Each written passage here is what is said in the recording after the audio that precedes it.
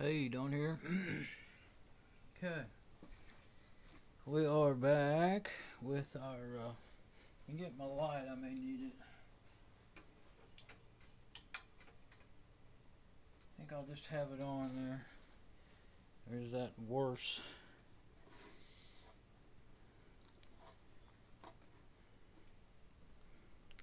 Here's my little screwdriver. My favorite screwdriver. It's really long, and most of the time it doesn't matter being long. It has a little favorite for electronics, small stuff. That, that spins, so you can put it in the palm of your hand, and it really makes it easy to twist stuff, twist it. So uh, I actually meant to just put that back together, but uh, this is a part two of my. Uh, mom's scale, mom's medical scale. The power supply went out and the cable broke. First the cable broke and then I found I went and tested it and, the, and it was out. Oh, I don't want to tighten those up all the way till I get the rest of the screws in there. You never know, it might need to move just a hair. Actually, it's more likely than not that they, things need to move just a little to line up. So I always get all the screws in before I start tightening things down. Then I'll get them, I'll get a couple of them like on opposite sides, you know, kind of getting to where they're beginning to get snug, and then you can tell it's in position.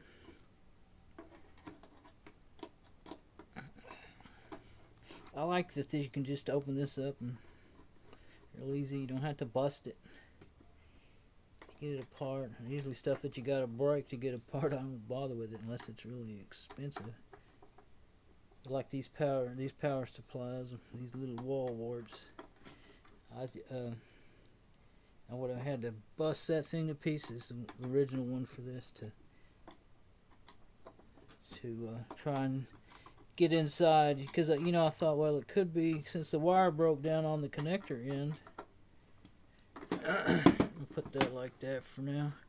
Since the wire broke clean off, I've never seen them quite that bad in a long time on the connector end. I mean, they was dangling by a couple of threads of wires. Um, you know, could happen inside of here just as well. Inside of the strain relief. But, uh, so I wanted to test it, but, so I got up as far as I could and I got nothing.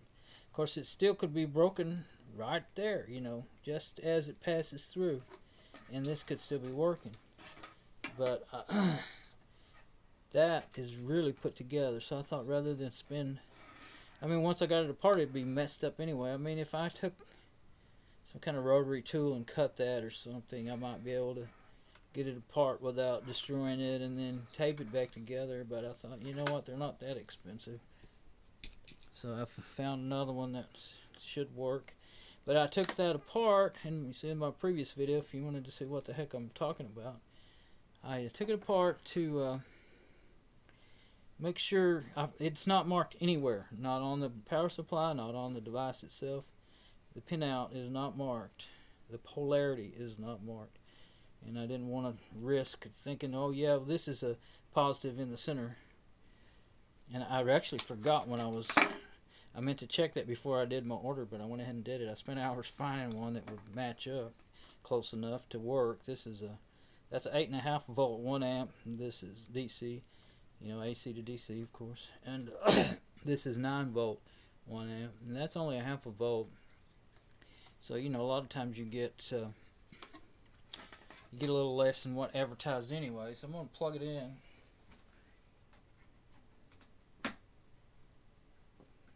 See. Making sure it plugged in over there. And I'm going to plug it in. Get my voltmeter. It's going to be upside down to you when I get, I need to, I might flip it here in a minute. After I, uh, I'm going to left that on continuity testing. Doesn't matter. Okay, after I, uh, see my see for myself because I don't read upside down too well. So I should be getting. I don't know if I can get that in there.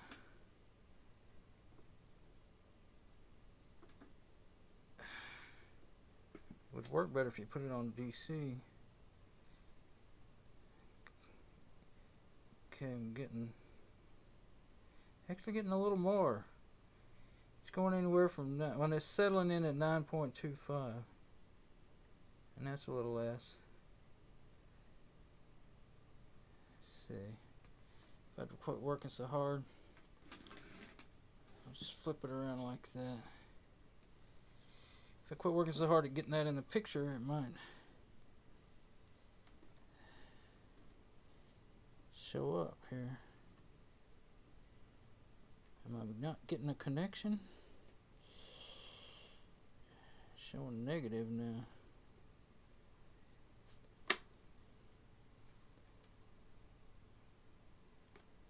Oh, I forgot. This is not a solid inside. It's just got two connectors in there. I noticed that when I looked in it. Okay, yeah, I can, can well now that I've looked at it. 926 is just sitting there now. 925. That's a whole volt over. Now I'm a little worried. But I learned something. Well, I've been doing a lot of reading. I, I, I've always loved electronics, but last few years, several years, five years or more, I've been more than that. I've been reading a lot and watching videos and learning a lot more. I, you know, I never got to actually work with them, other than, you know, soldering up a loose solder or something like that, make wiring stuff. Did a lot of wiring. I did work, did wiring installation for for a job before, but uh, telco and work in, in telcos, tel, tel, telephone communication telephone company central offices. We just call them telcos. It's a lot easier to say. Um, so, um, anyway, I have a red. If you ever heard of Raspberry Pi single board computer, they are you know rated. I mean, you can't get. I couldn't find anything on this. I'd like to have seen a spec sheet on it or something. I could tell what is the minimum and maximum voltage it could handle, but I couldn't find that. I find anything on it. so. Um, um, anyway, the Raspberry Pi that I have, uh, Adafruit, who makes a lot of cool electronics, made one for it because it was a problem with the USBs overdrawing uh, too much current. Oddly, drawing more current made the voltage drop. Uh, if you had a one, say a one amp, uh, five volt power supply, so they made one that was five and a quarter volts at one amp, and uh, supposed to you can be able to use actually if you just put two things in the USB it seemed to be they said it we should usually fine but if you put a USB hub on there then it would uh, cause them cause it to malfunction. So anyway that's where I got the I said oh okay so as long as you're within specs I kind of already knew that but I was scared to try it. You can go over a little bit but that's a whole volt. I was thinking it was just gonna be a half volt over but uh, seeing it inside, like you can't just tell by looking at it, but uh, I mean it is. I mean you can tell if it's made like crap, but I mean I can't tell just by looking inside um, whether or not it can handle more voltage or anything. I suppose if I'd well, there wouldn't be anything to tell me.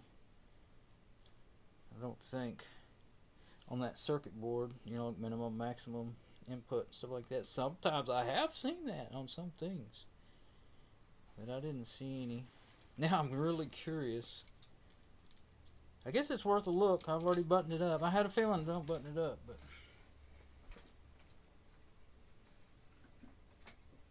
unplug this power supply. Alright. I think I've convinced myself to go at it one more time and see if there's a any writing in there. Seen it on older electronics, pretty common uh, to see something like that. This is not all that old. I'm talking, you know, 70s, 80s electronics, 60s electronics. This is probably maybe 10 years old. This is 2017, started to say 16. January 3rd, 4th, what is it, 4th, 5th? 2016. it's really easy to get open. But I already checked that it is the proper, I had it apart and I used my continuity texture, texture and on the connector in there, and I could tell that I do have the right polarity, which is number one. So. Uh,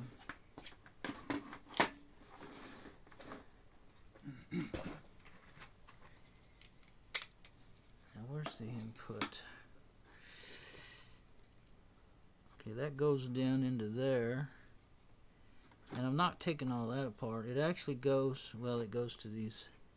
I'm sure it goes down in through here, and then there's these red, black, green, and uh, red.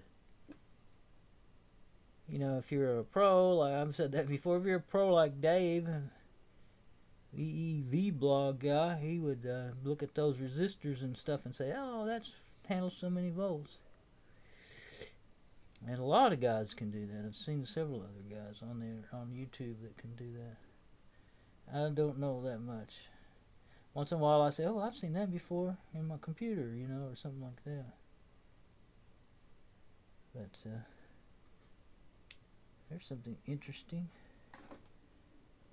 Oh, that's the reset switch. See, I know what some things are. Uh, th there's a little deal, special little key for resetting it on the back. I showed that in the other video. Oh, it has a battery too. I didn't even notice that before. A BR2330 backup battery. Also, that's how it saves its. Doesn't lose its memory if it power in a power loss. And uh,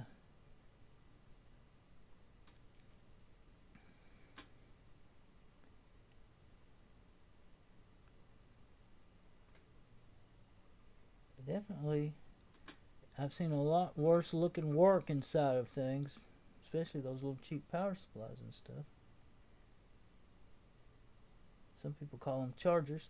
They're chargers if you're charging a battery with them, but if you're not charging anything, then it's a power supply. Okay, so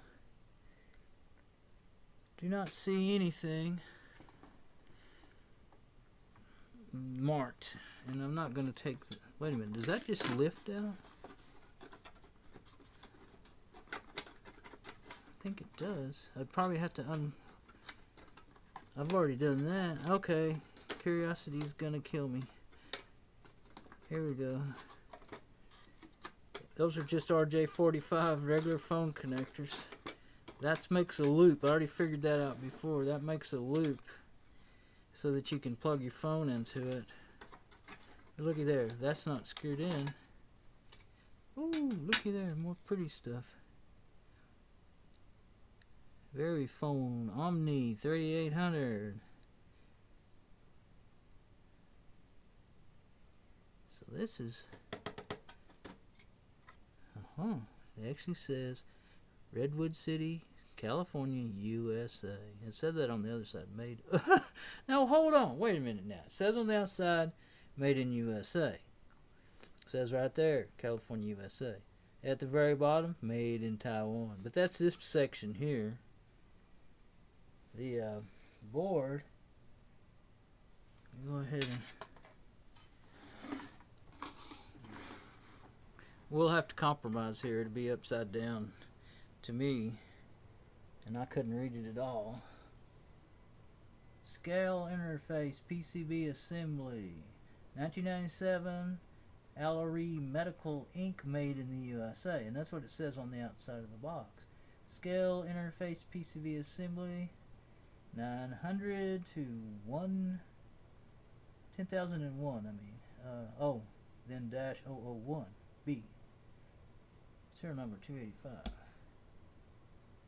well I find it I think it's interesting at least okay so no I don't know any more than I did about that is all the buttons in there. That just sits in there too.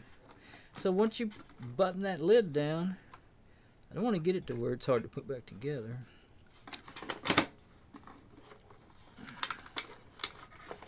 Yep, I can push on one of those buttons and it just lifts up, but I don't see any reason to take it out. I'm not that enthusiastic about taking things apart. I want it to work. That's what I want. Now, if I knew all the what's what, maybe I would be. But I'm just pretty happy if I can take something apart and uh, don't have any extra parts when I'm done, like I did when I was a kid. And uh, I actually I did sometimes when I was grown up working on cars too. You need all that stuff anyway. But uh, as long as it works. If I can get it back together and it works, I just don't want to blow it out. That doesn't snap too good. Those RJ45s will fool you all the time. It's kind of like trying to crush a roach, you know. You stepping on it and it keeps snapping its fingers and sounding like it crunched, but it didn't. And then it runs away when you pick up your foot. So, uh, yeah, I got it. Okay. Got a speaker and everything. Oh, it's got a. I was wondering where you hook it up for test leads. There's a, a connector, just like on your Raspberry Pis and your Arduinos and stuff. So I bet you that's where you'd have to hook it up to test it. There's no other place that looks like you can do that. J J2. I bet you could hook if you if you were a real good software bit banger. Is that what they call it? I guess it depends on what kind of equipment you're doing that to. But anyway, if you knew what you were doing, you could hook up to that and reprogram the software. That's what I would like to do to it. Is reprogram it to uh, automatically send. Only thing is, I don't have. You know, in the old, olden days, we had. Uh, I don't know if I paid attention when I put that together last time. Then you got to. I must have got lucky. Then I got the volume. You have to put that volume knob in the right place. I must have just happened to have it. Yeah, I remember now. I had it setting like that, and I, it just didn't give me. Somehow I managed to put it in there just like that without even remembering to look. Okay, so uh, yeah, this is what I was talking about. That's a key, and you put it in here to reset it. I'm not even going to press it right now. It probably wouldn't do anything, but. How about that? I mean, I just figured that out. I've hardly ever seen any keys for re reset keys come with stuff. But I can just see the instructions now. Take the reset key from the back of the unit, and they use like all the biggest words they can possibly find for, for little old ladies to read and try to figure out.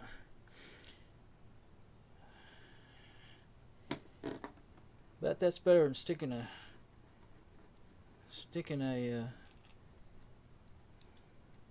paper clip in there and shorten something out.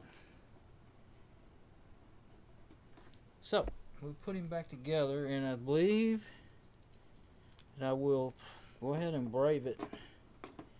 Turn it on. I'm not going to take one. I'll see if it lights up, but I'm not going to put it back together. The scale's still in her room and it's heavy. She's in on the computer right now ordering groceries from Wally World. Y'all ever done that? You can order them and you got to go pick them up. They won't deliver them, but you can order them and then just go pick them up at the door. You don't have to go running around for three hours shopping. It's pretty cool. So, one thing is sometimes they don't have what you ordered and they don't and you don't find out until they go to pick it up out of put it in the bags and give you something crappy instead of giving you like I can't even. It's like it depends on you get something different. You don't get the same thing every time. It's like whatever that person thinks would be a good replacement. Whoever did it, instead of like different brand of the similar object or whatever. You know, it's like you order one type of TV dinner and you get one that's nasty. Instead, that's the only thing I don't like about it. Or if they just don't have it at all, well, no, I was gonna say don't, you don't get nothing, but they don't do that. They give you something no matter what.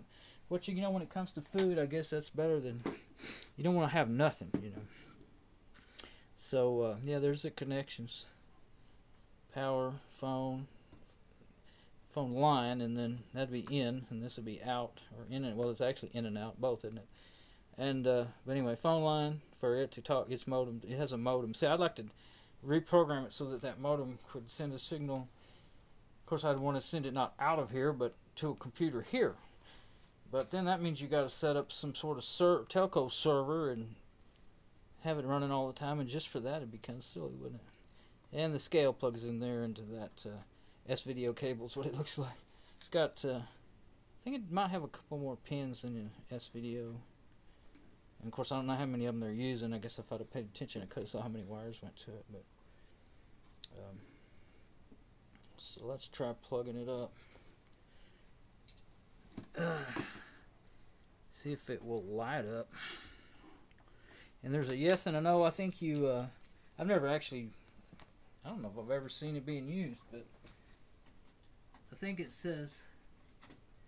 This is uh, what your weight is today. Is uh, you know, do you want to send it now and yes and no and all that. So. Okay, it's lighting up. Didn't blow up. No, no magic smoke. DLM RIP Wednesday 01 4. It's the right time. Oh, the battery must have kept the time in it. 0104 says 9:32 p.m. and it's 8:53, so the time's not exactly right, but and I'm not going to play around with it. I'll just jack it up. The time's not a big deal. But yay. Woohoo. So uh there she is. Now, of course, I could have risked it and just plugged it in, but I'd sure been upset if I'd have blown it. Oh, shit. Beep. Beep. It's talking to me. What does it say? For the beep. What?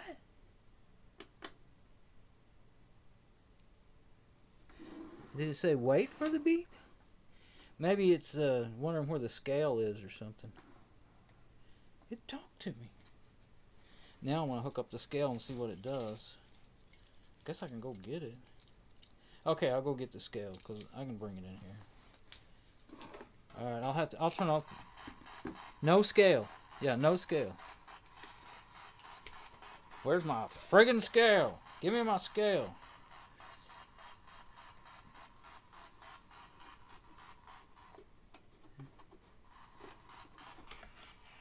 Can you hear that? okay. Let me go get. Okay. Every time I turn, it starts talking when I turn it around. Okay, I'm gonna unplug it and go get the scale, and I'll put the scale in there, and then I'll, uh, and then I'll turn it back on. Oh, but I'll stop this video till I get back.